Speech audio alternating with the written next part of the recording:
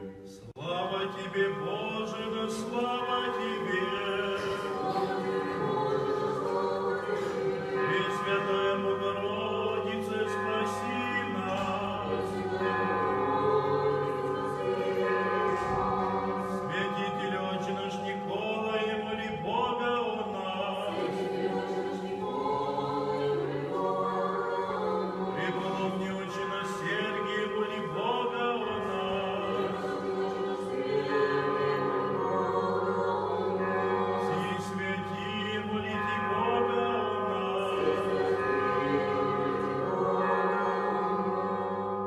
Во имя Отца и Сына и Святого Духа. Аминь. 22 сентября память святых мучеников Андрея, Иоанна, Петра и Антонина. Эти святые мученики пострадали в то время, как Африкой владел жестокий князь Ибрагим. При взятии и разрушении сицилийского города Сиракуз, это было в 868 году, Ибрагим вывел оттуда в Африку Иоанна и двух его детей, Петра и Антонина. Этих двух малолетних отроков он велел обучать агарянскому языку и наукам. Когда они стали подрастать, князь Ибрагим так полюбил их за мудрость и за добродетельную жизнь, что назвал Антонина своим сродником, а Петру дал звание Сакеллария, главного дворецкого. Они втайне исповедовали христианскую веру, но не могли скрыть этого от князя.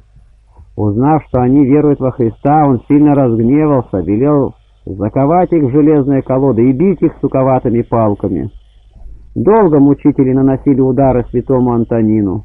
Затем посадили его на осла и, привязав крепкими ремнями, возили его по городу, подвергая его ударам, осыпая всякого рода поруганиями.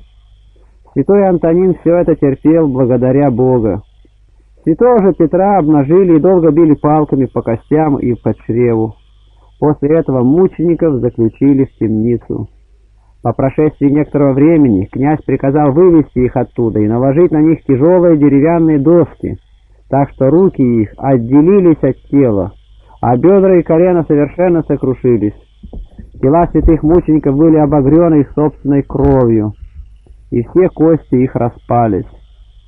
Потом привели их отца Иоанна. Князь схватил его левой рукой за шею, а правой вонзил нож в гортань его.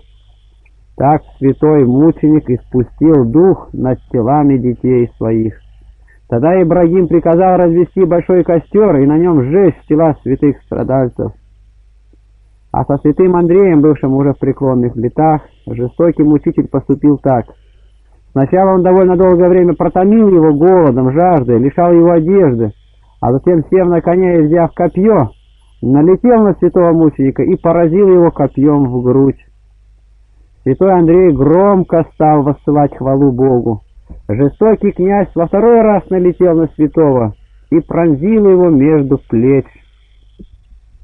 Истекая кровью, блаженно упал на землю, после чего ему усекли мечом главу. Богу нашему слава. Во веки веков. Аминь. Просим, приходите, подписывайтесь, э, будете регулярно получать с нашего канала.